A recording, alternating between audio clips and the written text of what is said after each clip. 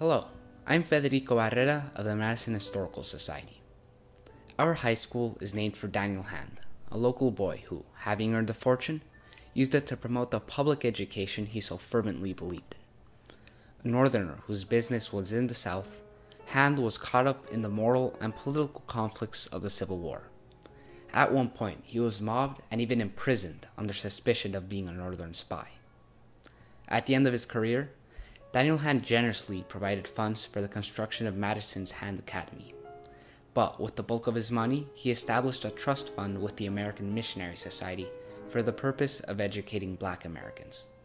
You might ask, where did this man's story begin? Well, he was born in 1801 in a house that still exists on Madison's Horse Pond Road. When he was 11 years old, Daniel's mother, Artemisa Meigs, died, and a few years later, Daniel joined his brother Augustus in Augusta, Georgia. There, they worked with their uncle Daniel Meigs in a wholesale grocery business. By the time he was 22, Daniel had become the store's sole proprietor, and by 1829, when he married, Daniel was well on his way to establishing himself both financially and socially. Sadly, the family's happiness was short lived. A son died in infancy, and Daniel's wife succumbed to yellow fever in an epidemic that ravaged the entire South in 1839.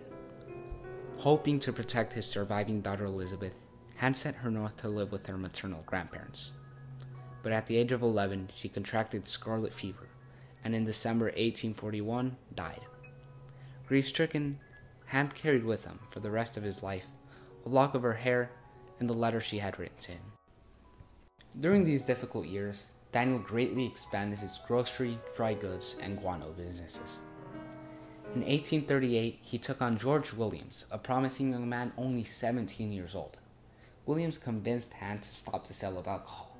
This unusual decision was inspired by a growing temperance movement and proved to be very profitable. Hand, Williams, and Company became one of the South's most successful businesses.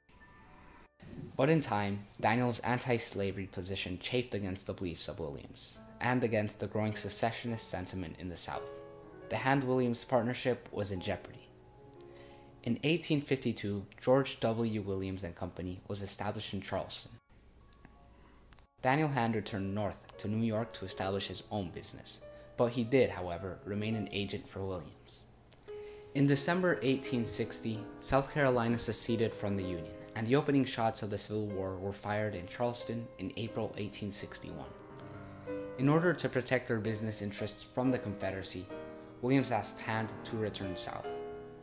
Although Hand was then 60 years old and wanting to retire, he made this difficult wartime journey across Confederate lines.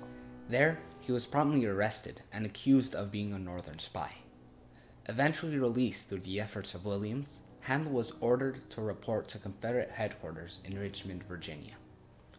Stopping along the way to make a visit to his old hometown, Augusta, he was mobbed by an angry crowd and, for his own protection, he was jailed overnight. Eventually, Hand made his way to Richmond, only to be arrested once again on charges of spying.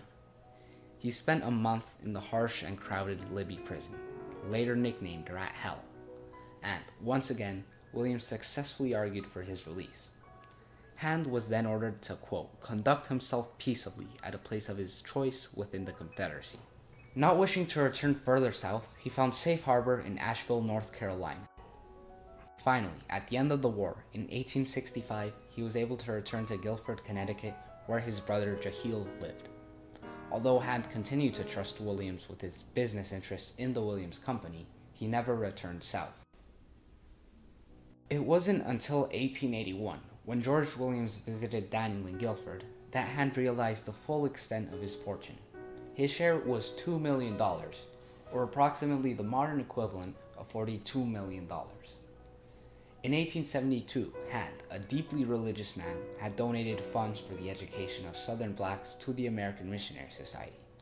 Now, he was able to establish a larger fund, his gift of $1 million was the largest philanthropic gift ever made by a living donor in the history of the nation.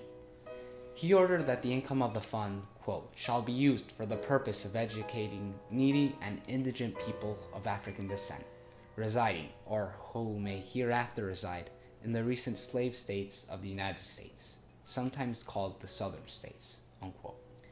Upon his death in 1891, the remainder of his fortune, amounting to half a million dollars, was added to his original gift. The American Missionary Society used the income from the Daniel Hand Fund for education in more than 140 educational institutions. Today, the fund is used for scholarships administered by the United Church of Christ.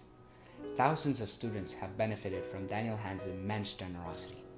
And, in addition to Madison's hand, at least five schools in the South bore his name.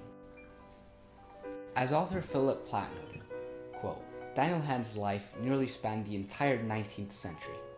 At a time when others were losing interest in the black man's plight, Daniel Hand reached out to help those in desperate need.